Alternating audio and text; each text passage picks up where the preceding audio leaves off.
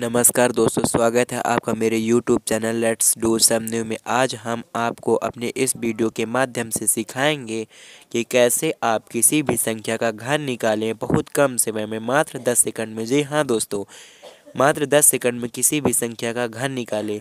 चलिए दोस्तों तो अब हम इस टॉपिक पर बात करते हैं। जी हाँ दोस्तों, चलिए अब हम स्टार्ट करते हैं।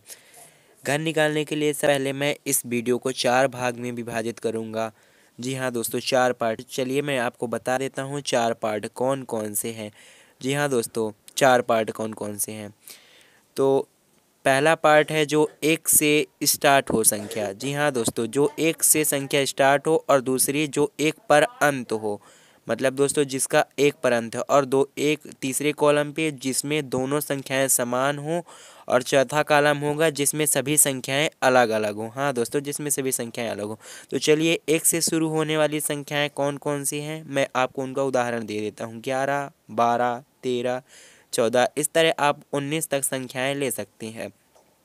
और दोस्तों, अब हम दूसरे कॉलम पर बात करें तो ऐसी संख्याएँ जिनका एक से अंत हो, जैसे इक्कीस हो गई ग्यारह ग्यारह तो उसी में आ जाएगा, इसलिए ग्यारह को नहीं लिखते। इकतीस हो गया, इकतालीस और अन्य संख्याएँ ले सकते हैं। और दोस्तों, तीसरा कॉलम ऐसी संख्याएँ जो समान हो। जैसे बाईस हो गया, तैतीस हो गया, चौवालीस हो गया, पचपन हो गया और अन्य हो गई। और पाँचवें कॉलम में जो सभी अलग अलग हो, जैसे पच्चीस, बत्तीस, छब्बीस और अन्य संख्याएँ भी हम ले सकते हैं।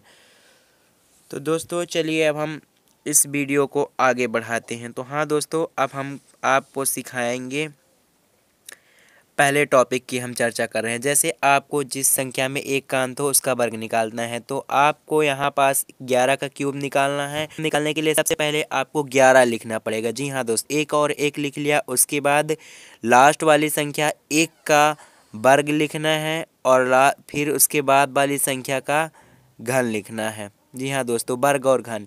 उसके बाद फिर हम क्या करेंगे कि पहली और दूसरी संख्या को छोड़ देंगे। जी हाँ दोस्तों, यहाँ पास हम एक का वर्ग और घन लिखने के बाद पहली और दूसरी संख्या को छोड़ देंगे और उसी के नीचे जो ऊपर संख्या लिखी रहेगी उसका दुगुना करके उसके नीचे लिख दिया जाता है। जी हाँ दोस्तों, यहाँ पास एक का है, एक का दुगुना दो, एक का दुगुना।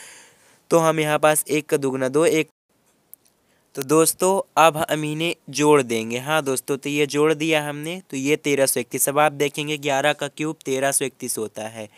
जी हाँ दोस्तों, आप इस प्रकार निकाल सकते हैं। चलिए अब हम दूसरी संख्या के बारे में भी थोड़ा सा बात कर लेते हैं। जैसे अब हम बारह, हमें बारह का क्यूब निकालना है इसी प्रकार से तो हम दो लिखेंगे। जी हाँ दोस्तों, एक और दो, उसके बाद ए, दो का दो का वर्ग लिखेंगे और दो का घन लिखेंगे। दो का वर्ग और दो का घन लिखेंगे। जी हाँ दोस्तों, चार और आठ। उसके बाद हम पहली और दूसरी संख्या को स्लैश कर देंगे। जी दोस्तों, पहली और दूसरी संख्या को हमें छोड़ देना है तो पहला हम एक और आठ को छोड़ देंगे। इसके बाद दो का वर्ग लिखेंगे, का वर्ग लिखेंगे या उसका डबल लिखना है। हाँ दोस्तों, डबल लिखना है। अब हम इन्हें जोड़ देंगे। आठ और, आठ चार बारह की दो, चार दो छः, एक सात और एक एक। अब आप देखेंगे यहाँ पास कि यह जोड़ने पर सत्रह सौ अट्ठाईस हो गया है। जी हाँ दोस्तों, यह जोड़ने पर सत्रह सौ अट्ठाईस। चलिए अब हम तेरह के क्यूब के बारे में बात करते हैं, तेरह का घन के बारे में। तो तेरह का घन निकालने के लिए सबसे पहले आपको तेरह का घन यहाँ पास एक और तीन लिखना पड़ेगा। उसके बाद, एक और तीन लिखने के बाद तीन का वर्ग और तीन का घन लिखना पड़ेगा। जी हाँ दोस्तों, तीन का वर्ग और तीन का घन। उसके बाद पहली और दूसरी संख्या को छोड़ देना है और तीन का डबल छः नौ का डबल अठारह। इसके बाद हम सत्ताईस की सात लिख देंगे। और नौ आठ सत्रह सत्ताईस सत्ताईस दो उनतीस की नौ लिख देंगे और यहाँ पास से दो बचा दो एक तीन नौ छः तीन नौ एक दस एक ग्यारह की एक और एक एक दो। तो चलिए फ्रेंड्स, अब हम बात करेंगे चौदह के क्यूब पर। जी हाँ चौदह के क्यूब पर। तो दोस्तों, चौदह के क्यूब निकालने के लिए सबसे पहले हम एक और चार लिखेंगे, फिर चार का वर्ग और चार का घन लिखेंगे। जी हाँ दोस्तों, चार का वर्ग और चार का घन। सोलह चौको चौंसठ। जी दोस्तों, अब हम इसके बाद पहले और दूसरी संख्या को निगलेक्ट कर देंगे और उसके बाद उसका चार का डबल और सोलह का डबल लिखेंगे। अब हम जोड़ देंगे, चौंसठ का चार लिख लेंगे और बचा छः। सोलह तीन, अड़तालीस हो गया, अड़तालीस छः, आठ छः, चौदह की इधर चार हो जाएगा दोस्तों और ये आठ, चार, बारह बारह, चार, सोलह हो गया। जी दोस्तों, बारह, चार, सोलह, एक सत्रह की सात हो गया और एक एक, दो हो गया।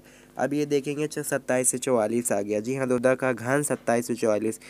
जी दोस्तों, चौदह का घन इसी प्रकार पंद्रह का निकाल सकते हैं, सोलह का निकाल सकते हैं। जी हाँ दोस्तों, पंद्रह और सोलह का भी निकाल सकते हैं। तो दोस्तों, अब आप समझ ही गए होंगे कैसे एक से स्टार्ट होने वाली संख्याओं का घन निकाला जा सकता है। जी हाँ दोस्तों, जो संख्याएँ एक से स्टार्ट हों, उसका आप घन निकाल सकते हैं। आपको यह वीडियो देखने के बाद समझ में आ ही गया होगा कि कैसे आप एक से स्टार्ट होने वाली संख्याओं को निकाल सकते हैं। और दोस्तों, अगर आपको यह और संख्याओं का घन निकालना सीखना है तो उसके लिए आपको दूसरा तीसरा पार्ट, चौथा पार्ट भी देखना पड़ेगा। जी हाँ दोस्तों। थैंक यू टू मच अगर आपको मेरा वीडियो अच्छा लगा हो तो शेयर करें सब्सक्राइब करें. थैंक यू टू मच दोस्तों.